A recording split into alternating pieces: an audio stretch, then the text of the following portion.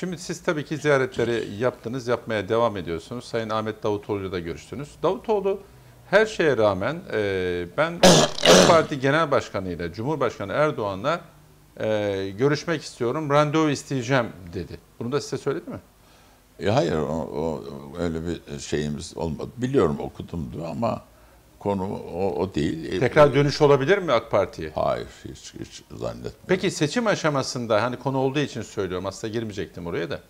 Ee, bugün her ne kadar bir Ahmet Davutoğlu'nun, bir Ali Babacan'ın ee, Cumhurbaşkanı Erdoğan AK Parti Genel Başkanı'na her ne kadar res çekseler de yarın seçim aşamasında özellikle ittifaklar oluşurken tekrar bir sıcak temas sağlanabilir mi? Siz bunu hissettiniz mi? Yani benim şu andaki izlenimlerin içerisinde böyle bir şey yok. Yok. Böyle bir durum yok. Ee, ta- tam tersi var hatta. Yani Bugün ama için. şimdi ben ben, Tabii ben, tabii, ben tabii. kain değilim yani ben şimdi sizinle Ama konuşuyorum. usta siyasetçisi. 5 dakika sonra Evet. ay tamam da 5 dakika sonra 10 dakika sonra bir Ne olacağı belli değil. e, yani bir, bir, bir, bir şey çıkıp da pat diye o, o yeni bir gelişmenin karşısında herkes yani bu parti şimdi altı tane e, partinin muhalefet partisinin birleştikleri konulara zaten deklar ettiler kamuoyuna.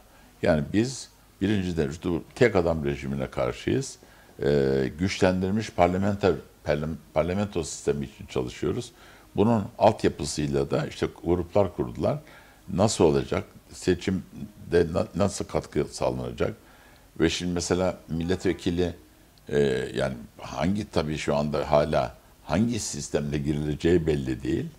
E, çünkü e, şey işte yeni seçim kanunu çıkardılar. Evet, evet. O yeni seçim kanununa göre e, baktığınız vakit e, milletvekili e, eğer yeni seçim kanununa göre olursa ittifaka girdi mi tamam baraj kalkmış oluyor.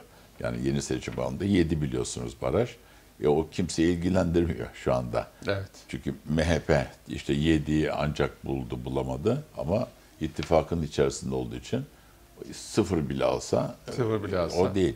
E, HDP bütün kamu araştırmalarında aşağı yukarı yüzde 10 11 11.9 hatta son. Yani 10 ile 12 arasında gidip Evet, geliyor. gidip Evet, geliyor. Evet, evet. Dolayısıyla şu anda yani baş- başka parti icabına birdir, üçtür. Onlar zaten e, bir e, ittifaka girmediği ahvalde e, yediği bulup geçmeleri Mümkün çok zor. değil. E, Biliyorsunuz e, HDP e, önderliğinde üçüncü bir ittifak da kuruldu. Sol ittifak. Evet orada 7-8 tane sol partiler filan.